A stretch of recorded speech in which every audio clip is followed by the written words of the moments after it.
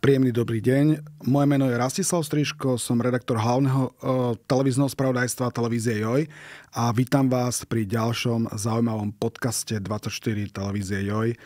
A opäť e, téma, ktorá je dôležitá, je aktuálna.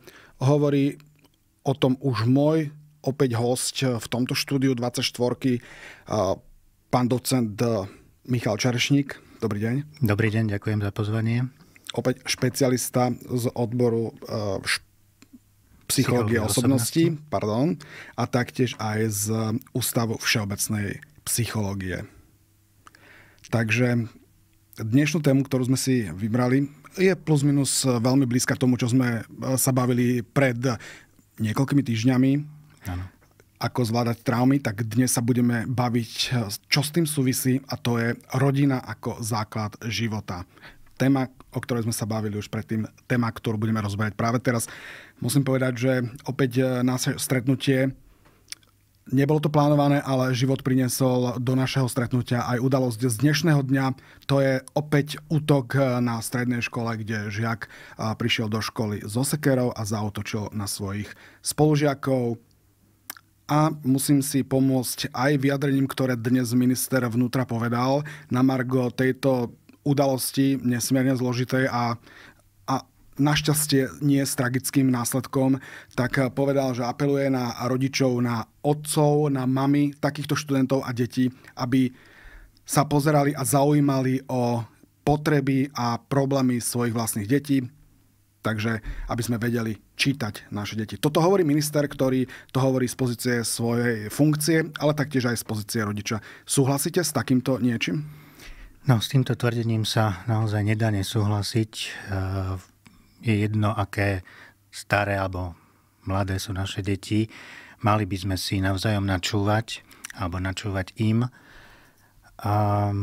Vždy nám niečo komunikujú a dokonca existujú aj také nejaké odporúčania, kvantifikácie toho, koľko času by sme mali venovať s takým konštruktívnym rozhovorom s našimi deti, de, deťmi denne. A také odporúčania sú na úrovni dvoch hodín. Položme si otázku, koľko z nás, rodičov, sa dve hodiny zmysluplne, produktívne, konštruktívne rozpráva s našimi deťmi. Asi nás nebude veľa a máme aj výsledky toho, koľko času priemerne rodičia trávia takýmito rozhovormi. Priemerne je to 15 minút. To je veľký rozdiel. 2 hodiny a 5... jedného dňa. Jedného dňa, áno. 2 hodiny a 15 minút je veľký rozdiel. A, a samozrejme, častokrát zostaneme pri tom konštatovaní, čo bolo v škole, nič. A, a podobne, čo je naozaj veľmi plitký rozhovor a veľmi, veľmi neproduktívne využitý čas. A ako nájsť ten čas, tie dve hodiny? Lebo už tých 15 minút je naozaj veľmi málo. Mm. Čo chceš zajtra na desiatu, zoberie 5 minút, kým dieťa, školák na základnom stupni, dajme tomu, odpovie, že čo by to bolo, lebo najprv povie, to je jedno. Áno ale potom získať tie dve hodiny v tom zhone, keď príde dieťa zo, šk- zo školy s krúžkou a tak ďalej. Ako si to otrhnúť a ako k tomu nájsť tú cestu, aby to bolo samostá- aby to bolo vždy tou pravidelnosťou. Áno, áno, áno. A viem si predstaviť ľudí, ktorí nás počúvajú a ktorí sa na nás pozerajú, ako premýšľajú o tom, že no dobre, aj keby som to chcel, tak ako kde zoberiem tie dve hodiny, lebo som v práci, lebo musím ísť na nákup, lebo musím vybaviť toto, lebo musím upratať a tak ďalej. To sú úplne objektívne záležitosti, ktoré do toho vstupujú. Každopádne, keď už sme doma, keď už sme prišli z práce, a nemusíme to všetko, čo sa u nás doma odohráva, robiť sami môžeme a dokonca by sme mali do toho zapojiť naše vlastné deti, mali by byť toho súčasťou, čiže napríklad medzi tým, ako vkladám bielizeň do práčky, sa môžem baviť so svojimi deťmi, čo je nové, alebo pri pozeraní nejakého večerného filmu, filmu si môžem stopnúť nejakú scénu a povedať, že mm, tak s týmto ja veľmi nesúhlasím. Čo, čo ty na to hovoríš, čo sa tu udialo? Ako Takže vťahla to dieťa do deja Áno. tej rodiny, toho, tej domáco, toho kamihu, toho Áno. tomu toho pol dňa, ktorý ano. máme ešte k ano, dispozícii. presne tak. Vyslovene sa zaujímať o to, čo si myslia, ako pozerajú na tú situáciu, čo prežívajú vo vzťahu k nej, či majú s niečím nejakú skúsenosť. Ona bude pravdepodobne troška iná ako naša a možno to bude obohatenie pre nás, troška nejaký iný alternatívny pohľad a možno tie deti práve očakávajú aj to, že my im dáme nejaký náš vhľad do tej situácie, aby si lepšie štrukturovali to, čo sa okolo nich deje a mali, mali troška a, presnejší náhľad. Čiže obidve strany môžu z toho jednoznačne profitovať. Opäť poviem, ešte uh, dopoviem, keď môžem. Uh, je to podcast, ktorý má svojich poslucháčov, ale taktiež aj uh, divákov, ktorí keď majú k dispozícii obrazový záznam alebo môžu sledovať aj záznam, tak na obrazovke budeme ukazovať aj grafiky. Opäť vo vašom prípade sú tie grafiky veľmi dôležité a, a taktiež aj vysvetľujúce a zjednodušujúce to, čo častokrát môže sa javiť ako zložité. Výchova a, a rodina a smer rovanie k deťom je zložitý proces, ale poviem ešte e, k tomu dneš, k, tomu, k tej udalosti na hmm. e, škole v Novákoch. Vy ste mi povedali pred eh, tým, ako sme sa uh, dostali do tohto, do tohto štúdia, že v podstate, áno, to bol prvák, ten chlapec, ktorý prišiel z, no, z jedného prostredia do toho nového prostredia strednej školy. Ako čítate tú udalosť, že to naozaj potom vyústil k takémuto útoku proti svojim spolužiakom? No, mne sa žiada povedať toľko, že všetky tie nešťastné udalosti, ktoré sa v posledných týždňoch na Slovensku dejú, sú mnohovrstevnaté. A môžeme sa na ne pozerať cez rozličné perspektívy. Ja mám svoju perspektívu ako psychológ samozrejme, troška sa bude odlišovať od perspektívy sociálnej práce, sociologickej, politickej a tak ďalej. Takže to, čo ponúkam, je iba jeden z možných náhľadov a treba si ho do tej celej skladačky nejakým spôsobom doplniť. A budem skôr hovoriť o takých všeobecných poznatkoch, o generalizovaných a naozaj nemám podrobné informácie o tom, čo sa stalo, ani nie sú mediálne dostupné, takže všetci žijeme v takomto ukotvení informačnej neistoty, nevieme presne, aké je pozadie, čo sa stalo a tak ďalej. Takže môžeme v podstate hádať alebo expertne odhadovať v lepšom prípade. Každopádne ja sa na to pozerám tak, že, že tento útok je jedno, akým spôsobom bol prevedený, či sekerov, alebo by tam bola pištol, alebo kameň, alebo nejaká iná, iný predmet, ktorý je ohrozujúci a zraňujúci.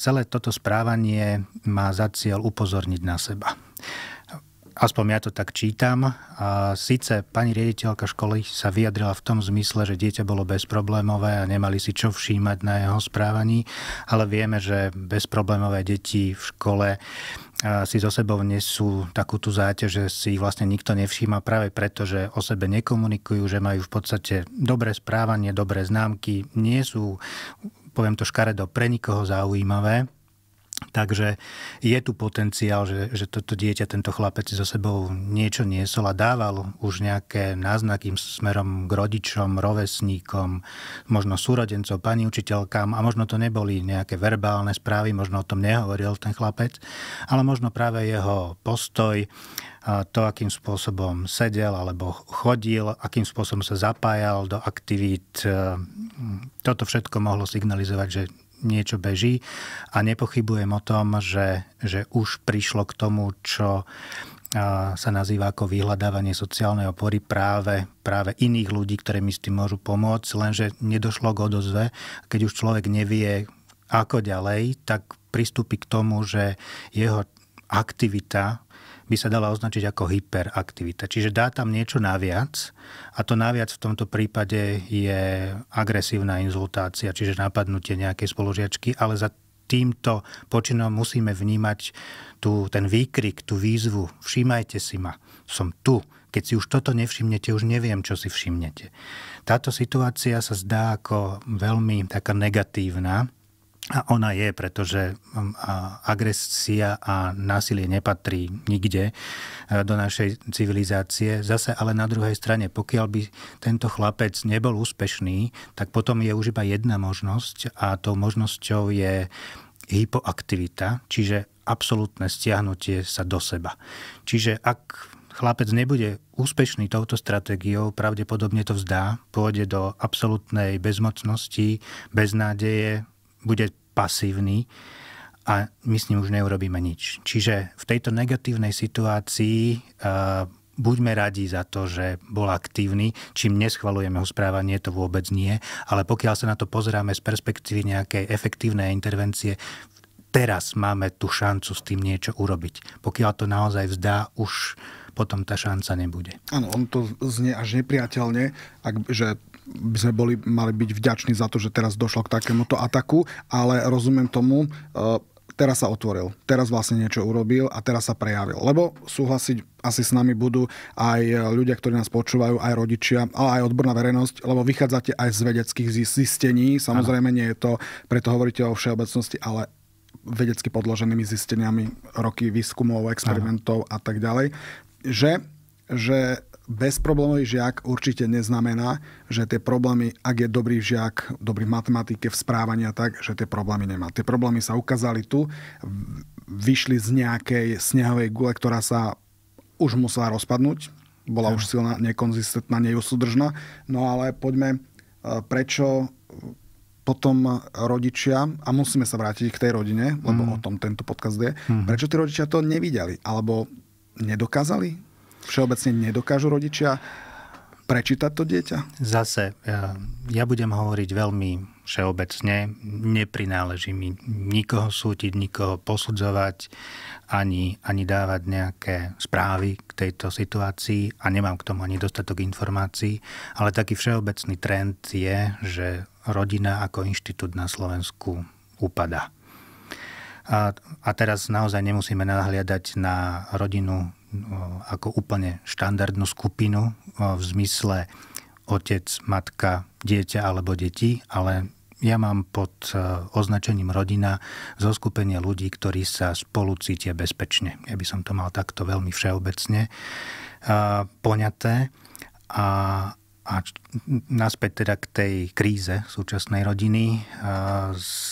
Štatistika je neúprosná v tomto zmysle a stúpa nám vek vstupu do manželstva. Sme za 30 muži samozrejme horšie ako ženy, stúpa nám vek prvorodičiek, už sme okolo 30 v tomto okamihu. Naše rodiny 10 ročia už pomaličky majú jedno, dve deti, úplne naj, naj, najštandardnejšie. A často sa nám rodiny rozvádzajú a v niektorých regiónoch atakujeme 50%, čo naozaj nie je pozitívny ukazovateľ.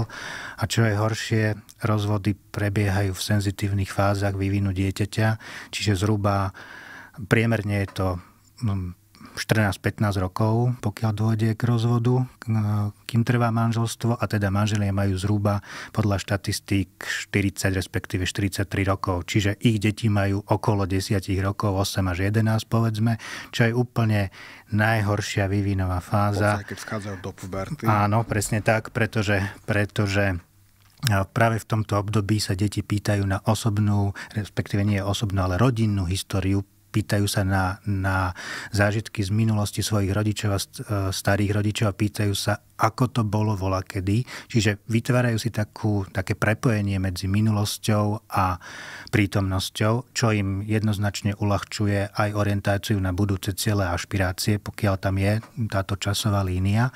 A u u detí oboch pohlaví, aj u chlapcov, aj u dievčat, sa, sa objavuje intenzívna starostlivosť o mladšie deti. Až teda na to, že u dievčat ju podporujeme a u chlapcov ju teda tlmíme, ale u oboch pohlaví je to rovnaké.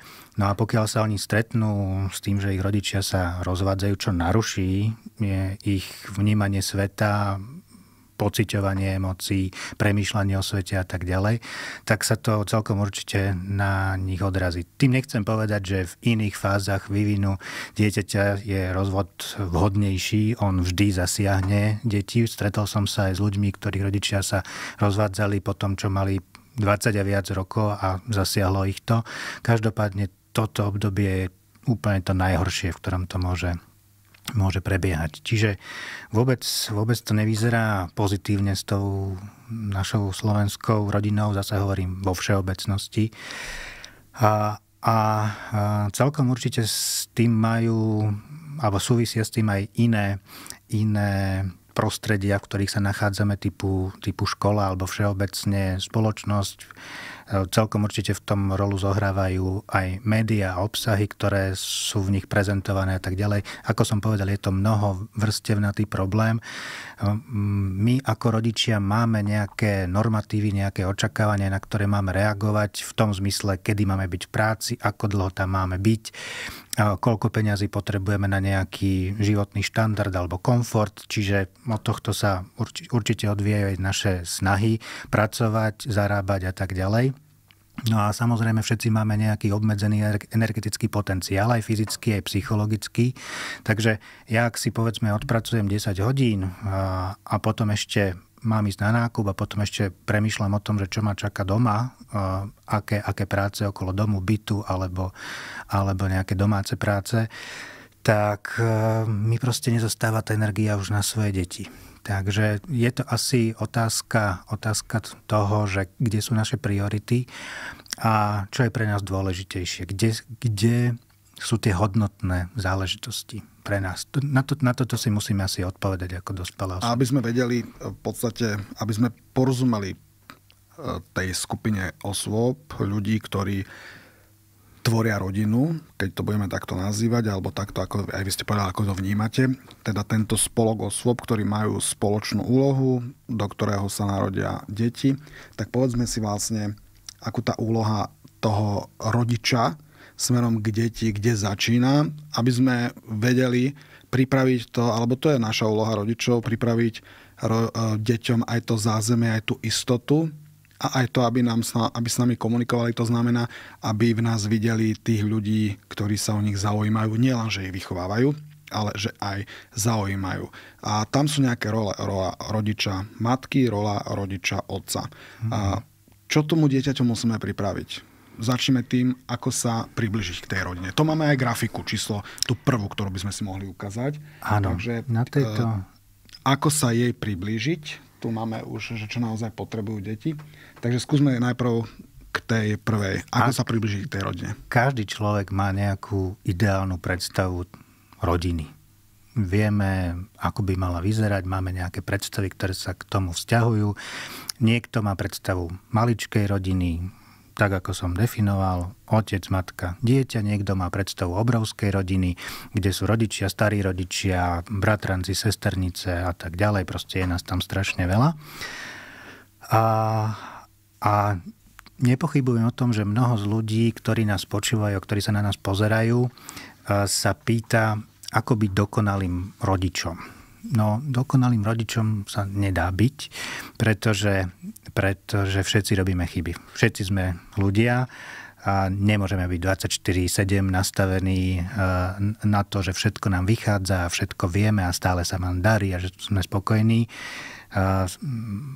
nachádzame sa, alebo teda vchádzame do rozličných situácií, ktoré sú problémové, ktoré musíme riešiť, ktorých cítime diskomfort, celkom určite to vidno na našom správaní, na našom prežívaní. Čiže mm, takúto predstavu mm, asi nevieme naplniť, byť dokonalým rodičom.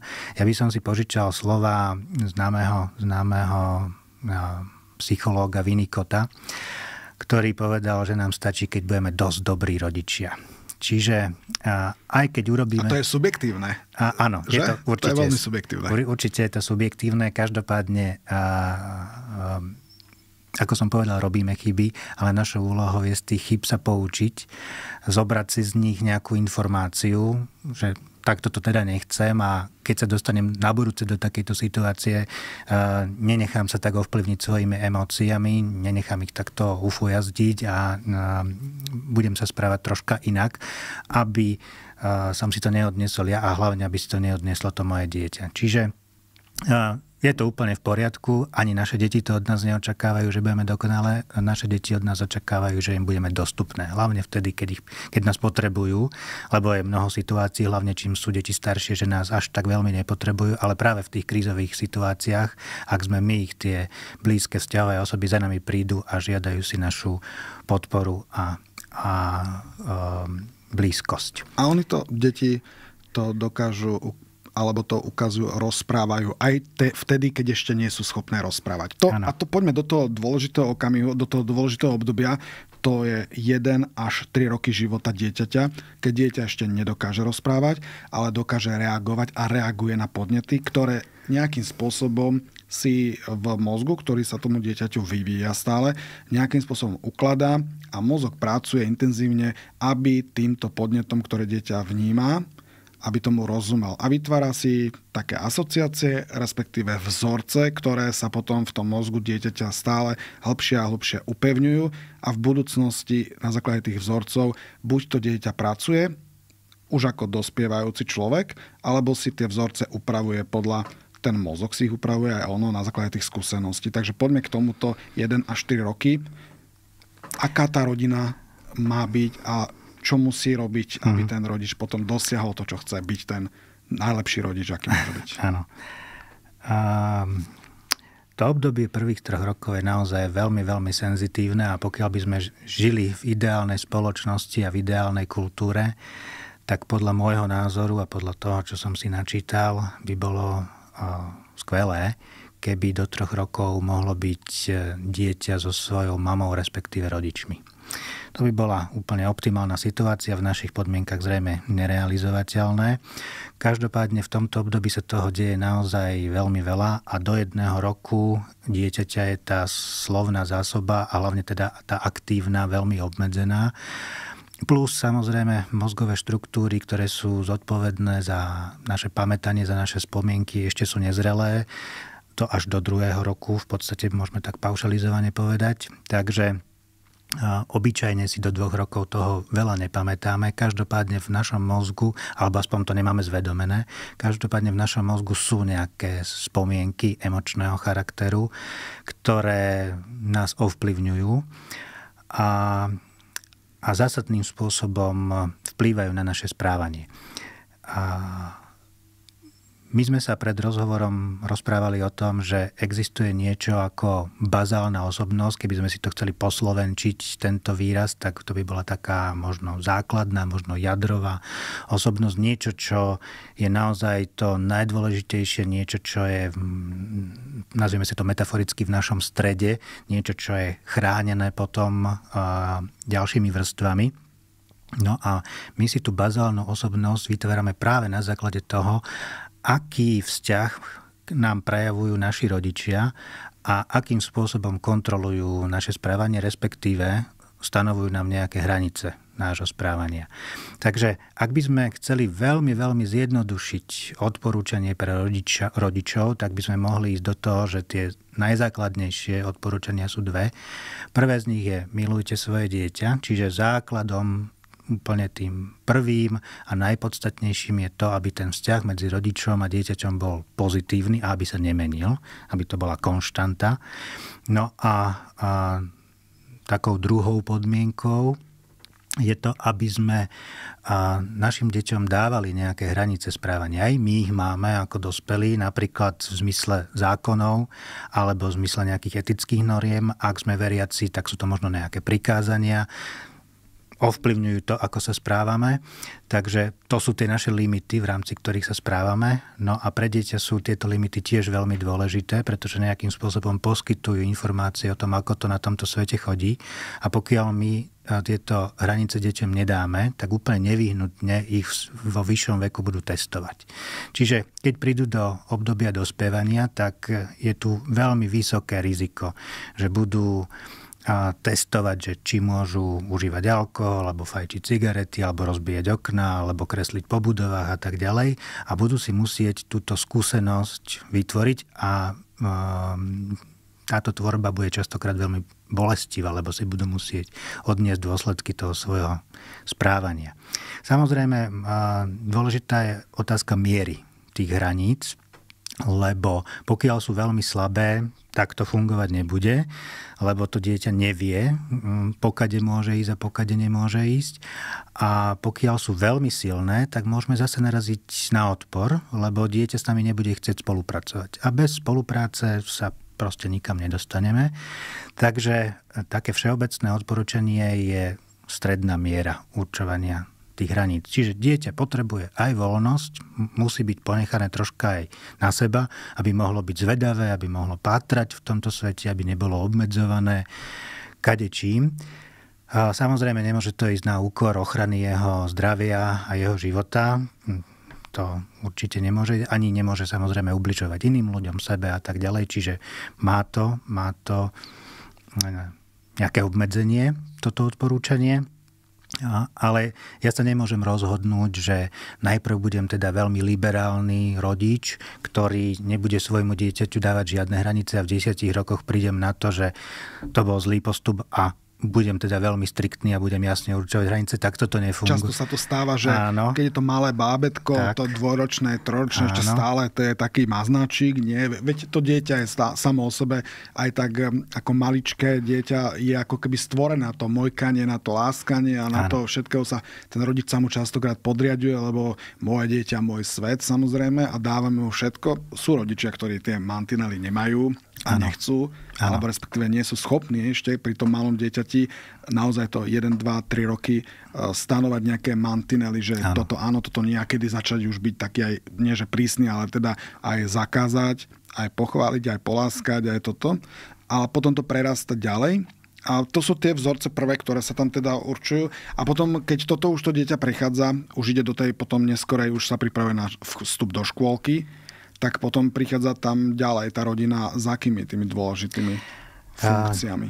A ja by som sa ešte vrátil k tej predchádzajúcej časti v tom zmysle, že, a, že mnoho tých odkazov, ktoré si berieme z rodiny, sú e, také základné a emocionálne. Ja už som to hovoril pred chvíľočkou, skúsim nejaký príklad, aby to bolo zrozumiteľnejšie. Napríklad a na základe toho, ako sa k nám správajú rodičia, si my osvojíme postoj, či môžeme alebo nemôžeme ľuďom dôverovať.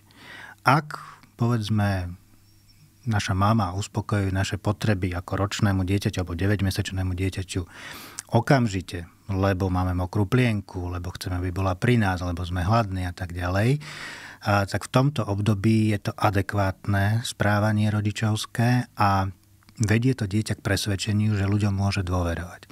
Pokiaľ nás mama nechá vyrevať, lebo veď nech sa to dieťa vyplače a musí počkať, lebo ja ešte si musím dokončiť a toto a tamto, tak e, to dieťa skôr ide do takého bezmocného postoja a vytvára si, a zase to je bez slov, e, presvedčenie, že ľuďom nemôžno dôverovať. A toto všetko si bude so sebou niesť smerom do dospievania a dospelosti a, a môžeme predpokladať takmer s istotou, že takéto dieťa nebude mať tendenciu vstupovať do vzťahov, nebude vyhľadávať ľudí, nebude sa s nimi cítiť dobre, bude veľmi podozrievavé a tak ďalej a tak ďalej. A všetko je to vlastne odvodené od tej primárnej skúsenosti a pokiaľ by som chcel toho dieťaťa, alebo možno už dospelého, aby si takéto nejaké presvedčenie pomenovalo, tak to nebude vedieť práve preto, lebo tam nie sú ešte prítomné tie slova a je to iba skrze tú emóciu. Hej? Že teraz sa cítim dobre, lebo je tu tá moja mama. Keď by som to ešte Hej. podčiarkol, tak sú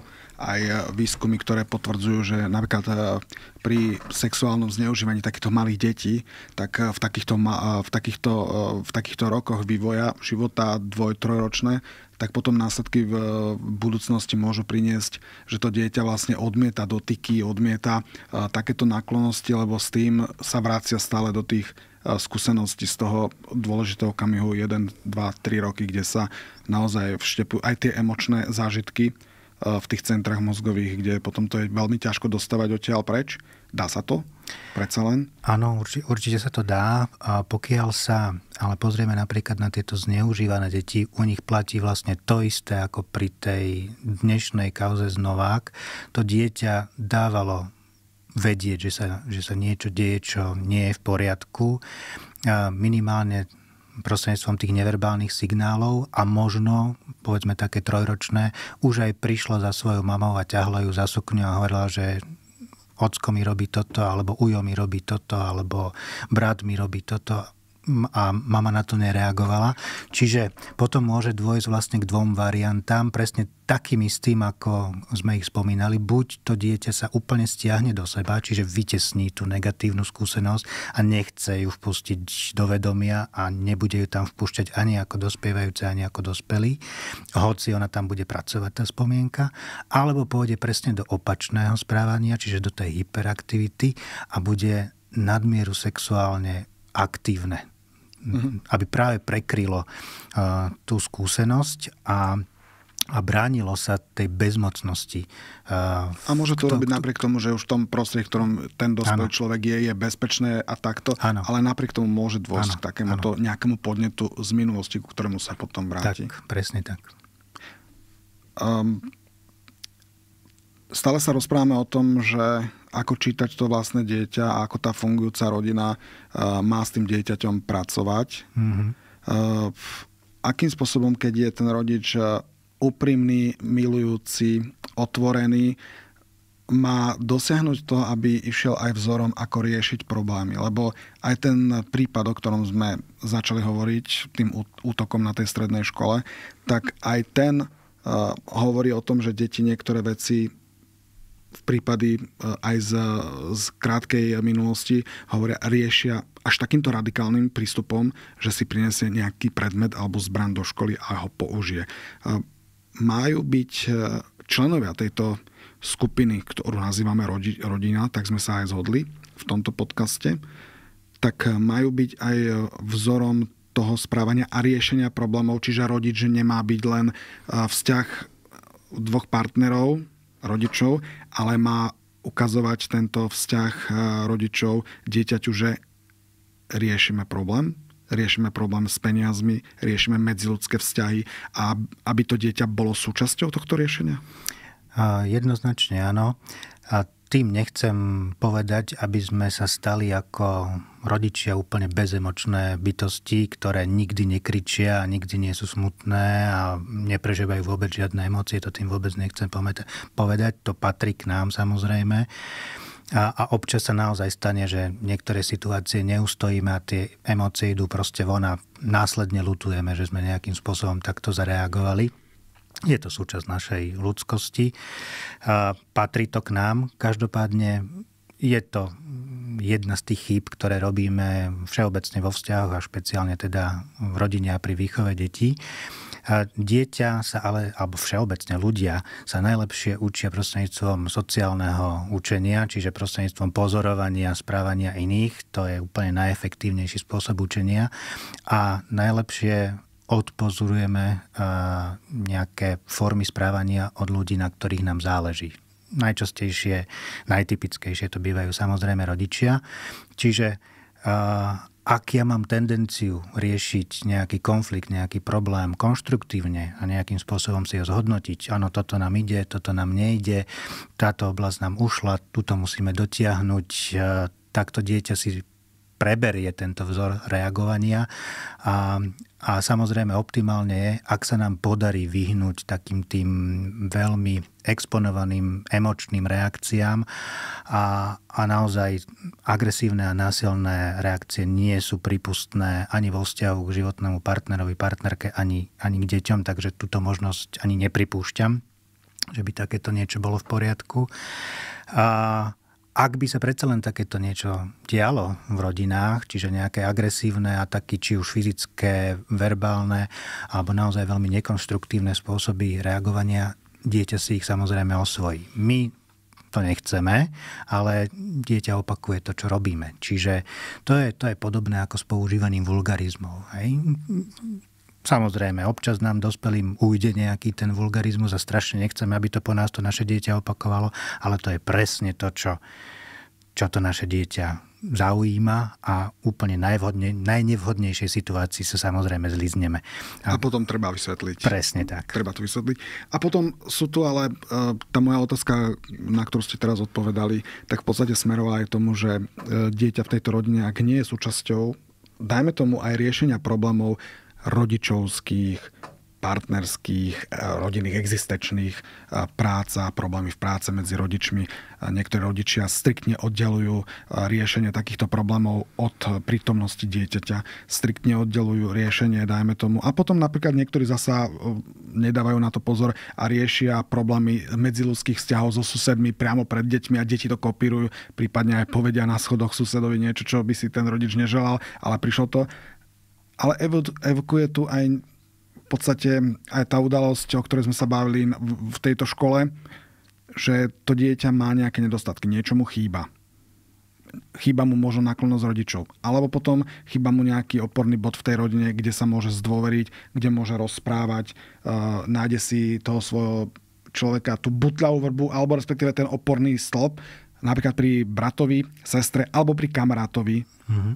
A tá rodina potom je oslabená, lebo to dieťa presne hľadá útočisko niekde inde, ako by malo. Mm-hmm. K tomuto, čo by sme si vedeli ah. povedať? Ešte by som upresnil, že to zapájanie detí do rodinnej diskusie o rozličných problémoch je vždy samozrejme závislé od veku. Hej, financie nebudeme preberať no, no. s trojročným dieťaťom, alebo možno nejaké problémy v práci a tak ďalej, ale povedzme niektoré problémy môžeme s ním riešiť alebo zapojiť do diskusie, keď má 10-12 rokov, aby sa nejakým spôsobom dostalo do tých bežných životných situácií a do toho, ako to medzi ľuďmi obyčajne chodí, čo všetko musíme brať do úvahy, e, že nie vždy môžeme povedať to, čo si myslíme, alebo prejaviť to, čo cítime a tak ďalej. A k, k tomuto chýbaniu. A tento dnešný konkrétny prípad e, toho incidentu na strednej škole v Novákoch e, deklaruje podľa môjho názoru to, že my si častokrát myslíme, že dieťa, ktoré má nejaký problém, musí mať za sebou nejakú mohutnú traumu. Nemusí. Ani takýto prípad, keď sa stane? Ako nie, je? nie, ani takýto prípad nemus, nemusí, môže, ale nemusí súvisieť s nejakou mohutnou traumou, ale môže súvisieť s drobným chýbaním. Otázka je, že čo to samozrejme drobné znamená. A, a nie je naozaj na našom posúdení, aby sme my rozhodli, že to, čo sa dieťaťu deje, je malého významu alebo veľkého významu. Ten význam prisudzuje tej situácii samotné dieťa, respektíve človek. Uvediem taký špecifický príklad práve z našich škôl. A Slovensko má všeobecne problém v tom, že ten index akceptácie inakosti je veľmi nízučký a sme veľmi nízko na priečkach pri porovnaní s ostatnými európskymi zemami, krajinami a ono sa to pretaví samozrejme aj do myslenia a fungovania ľudí.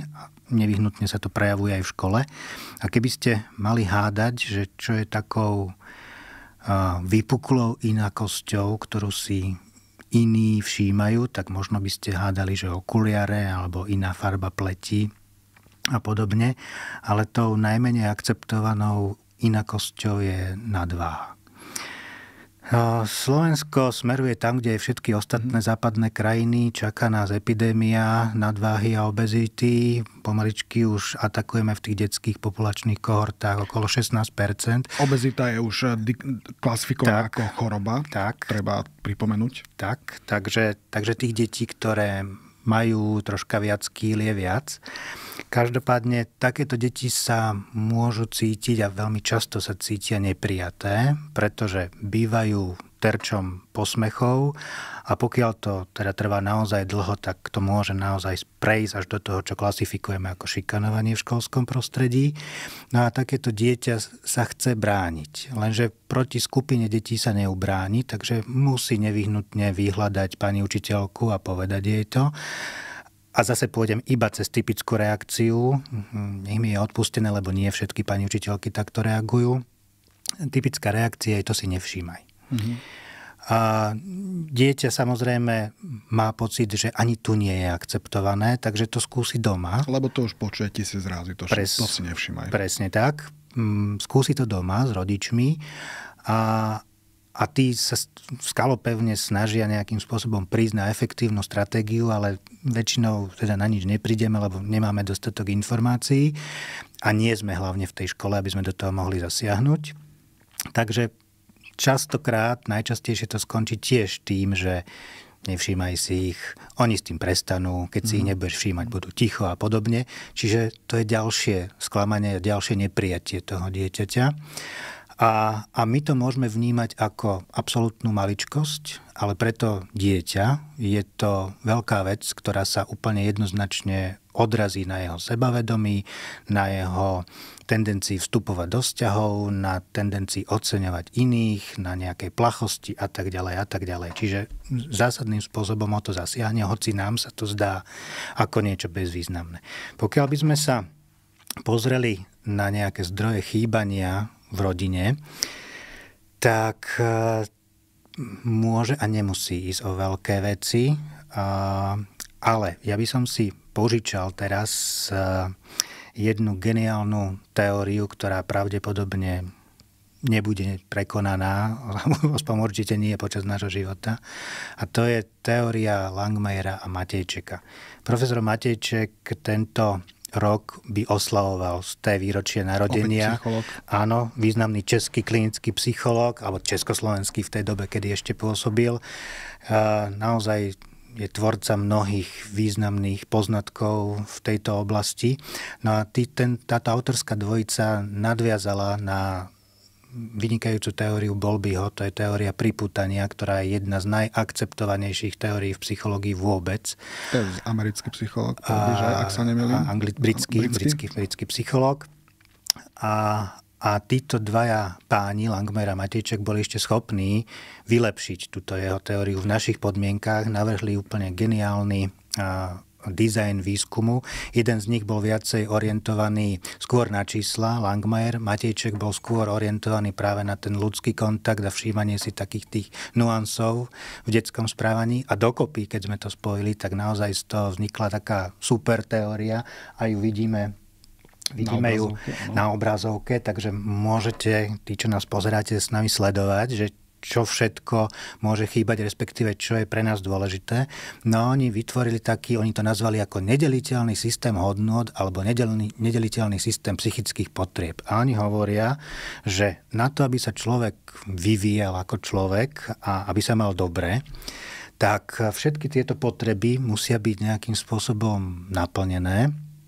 A pokiaľ dôjde k nejakej menšej alebo väčšej odchýlke, tak už to nie je úplne ono a, a už sa tu začínajú objavovať nejaké problémy. Tak skúsme si to, skúsme si to prejsť. Ja si teraz nadlhšie asi zoberiem slovo, lebo je to naozaj taký ten exkurs do tej, do tej teórie. Ale aj kľúč na to, aby sme chápali áno, svoju úlohu ako rodiča v tejto určite, rodine. V tejto určite áno. Osôb.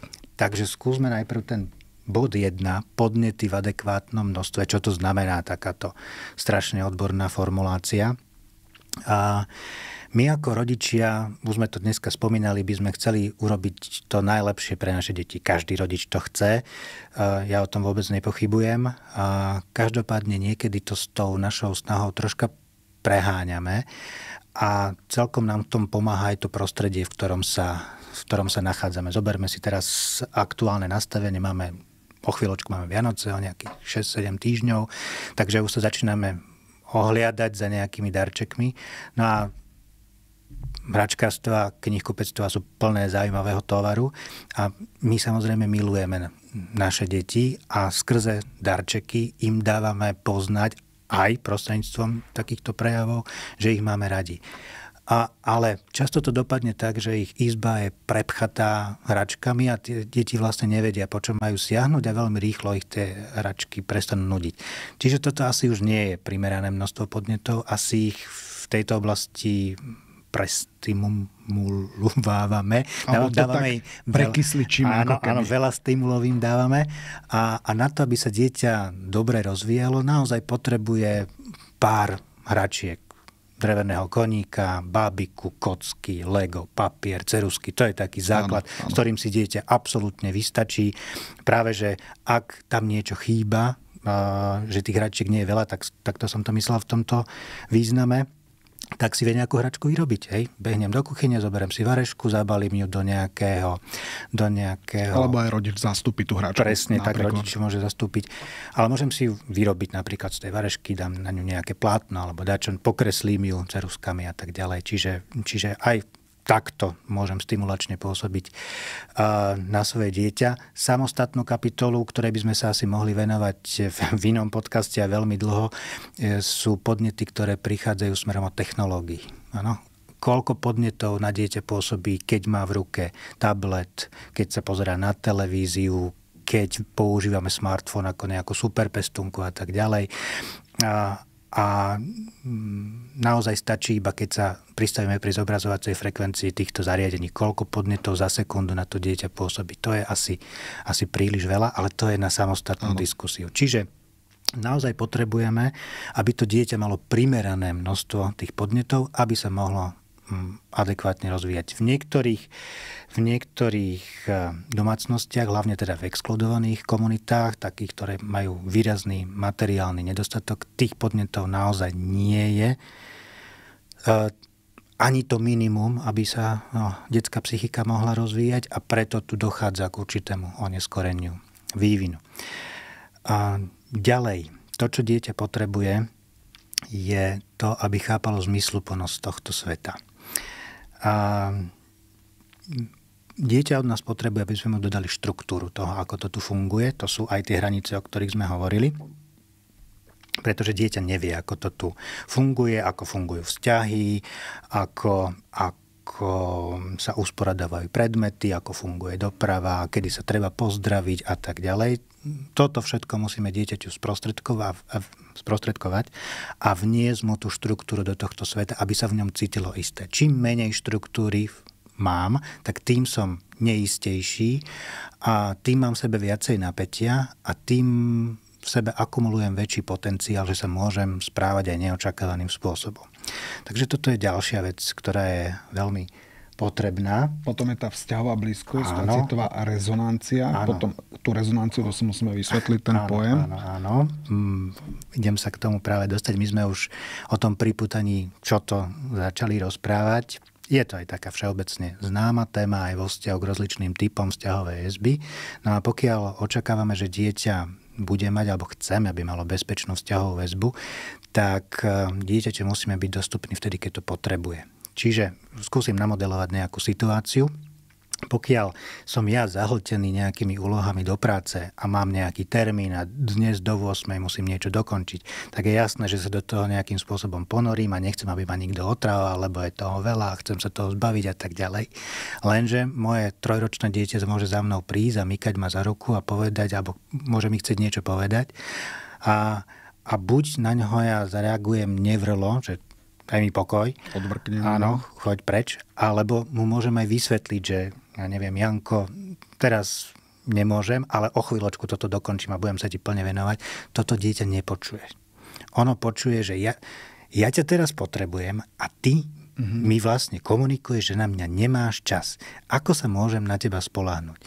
My si to musíme preložiť do tej detskej reči, ako toto dieťa vníma tú situáciu a tú našu blízkosť, dostupnosť alebo nedostupnosť.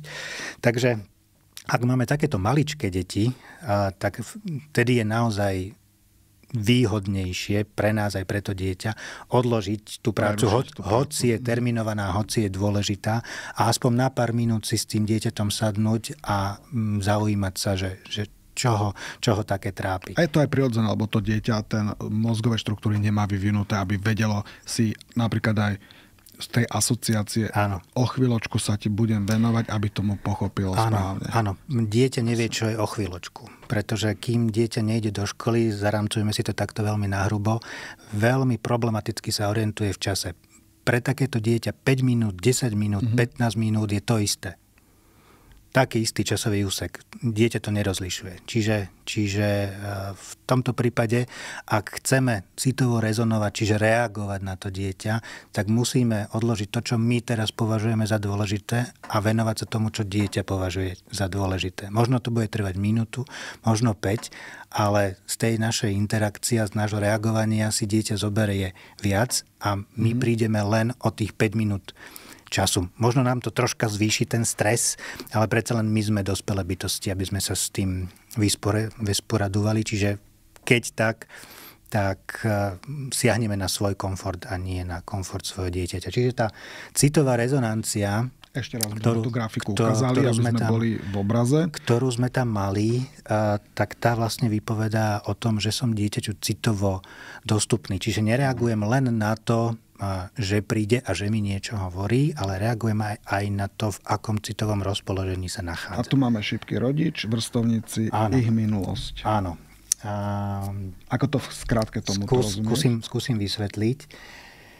A... Skúsim to zjednodušiť troška. A veľmi sa uvažuje o tom, či vrstovnícke alebo rovesnícke skupiny majú na dieťa pozitívny vplyv alebo negatívny vplyv. Pokiaľ sa pozrieme na výskumy, tak jedni hovoria to, iné hovoria to, výsledky nie sú úplne jednoznačné. A, ale môj náhľad do tejto situácie je taký, že pokiaľ je vzťah s rodičmi v poriadku a teda je citovo naplňajúci, tak nemám problémy ani v rovesnických vzťahoch. Pokiaľ nie je citovo naplňajúci, hľadám to naplnenie niekde inde u svojich rovesníkov a rovesníčok, tými obyčajne dávajú aj nejaké podmienky, ktoré nie sú častokrát úplne v súlade so sociálnymi očakávaniami. Napríklad, ak chceš patriť do tejto skupiny, tak rozbi tam to okno alebo pomaluj tam tú stenu.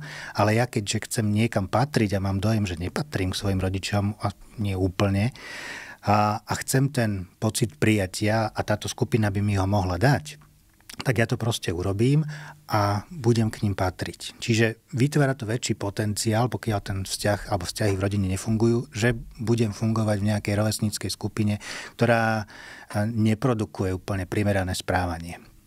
Samozrejme, že to riziko je aj vtedy, ak mám dobrý vzťah s tými rodičmi, ale pokiaľ by som urobil niečo nad rámec sociálnych noriem, tak, tak stačí, stačí vlastne komunikácia s rodičmi a s najväčšou pravdepodobnosťou sa toto správanie už nebude opakovať. Čiže ja si to môžem otestovať, že či to je skutočne tak, ako mi to rodičia modelovali, ako mi to štrukturovali, aké mi dali o tom informácie, a, ale ja si to overím a, a oni povedia, áno, toto si spravil, budeš si na to, za to než dôsledky a do budúcnosti budeš vedieť, že s ľuďmi takéhoto typu nie je záhodno vstupovať. To je aj ich minulosť. To je tá vlastne a tuto, ďalšia šipka, ktorú tam vidíme. Tuto som, tuto, som chcel, tuto som chcel vlastne prepojiť tú informáciu s tým, že je dôležité, aby deti poznali minulosť svojej rodiny a každé dieťa to chce.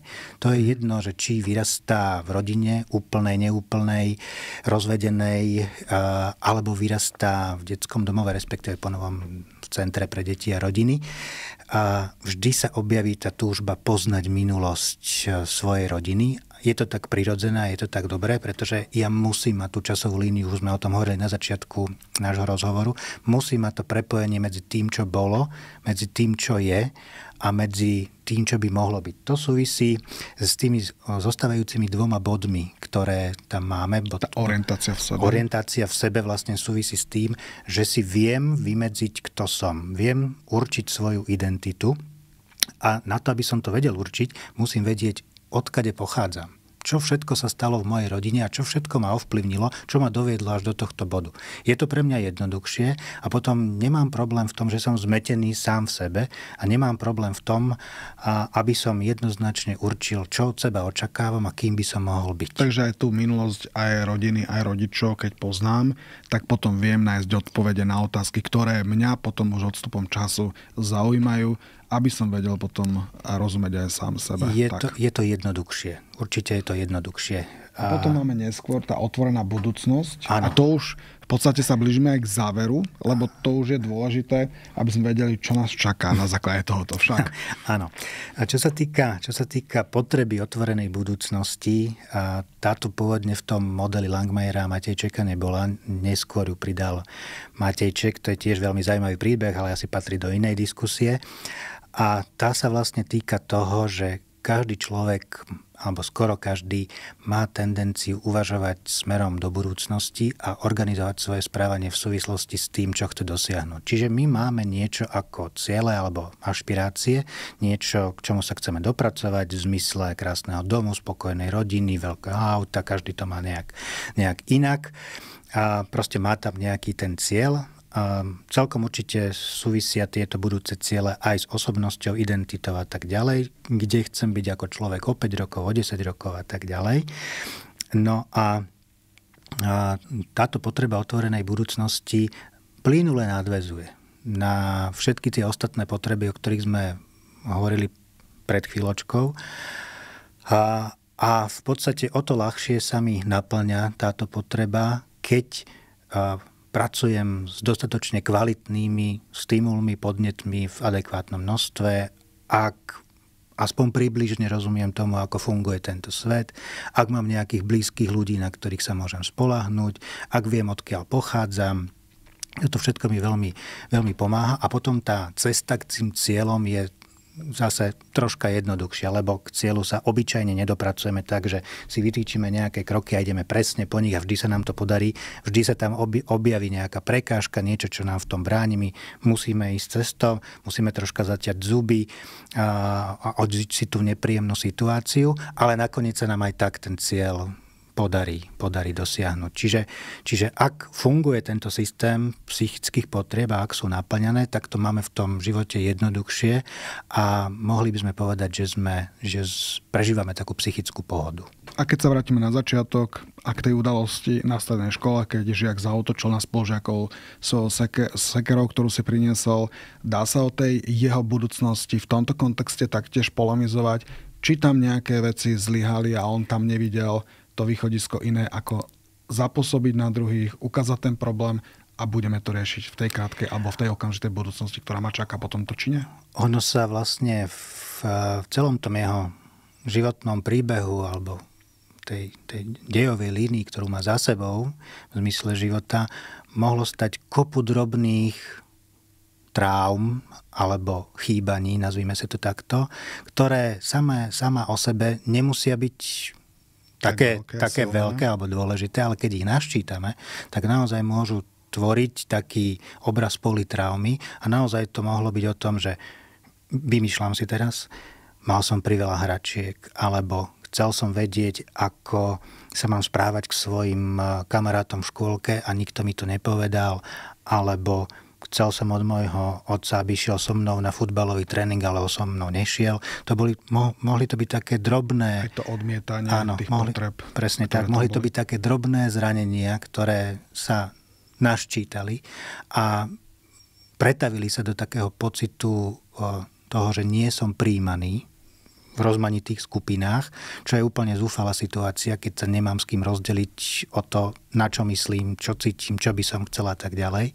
Takže mohli vyústiť práve v takéto, takýto zúfalý čin. Také emočné vykrvácanie v tom Áno, okamihu. presne tak.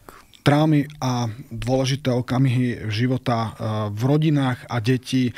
Ďakujem pekne, že ste prišli, že sme sa o tejto dôležitej inštitúcii, ako je rodina, skupina osôb, ako ste to na začiatok povedali, o ktorej budeme hovoriť, ako sa má správať, akým spôsobom e, pristupovať k tým deťom. Ja dúfam, že sa dozvieme od krátkej budúcnosti čo stalo aj za týmto útokom na tejto škole. Možno sa k tomu znova vrátime, spoločne to budeme rozoberať, ale dúfam, že ako rodičia si tie naše deti teda naozaj budeme aj po tomto rozhovore oveľa viac všímať a budeme im chcieť oveľa viacej a v danom okamihu presne vtedy rozumieť tak, ako to oni aj potrebujú. Tak ďakujem ešte raz, pán docent Michal Čerešník.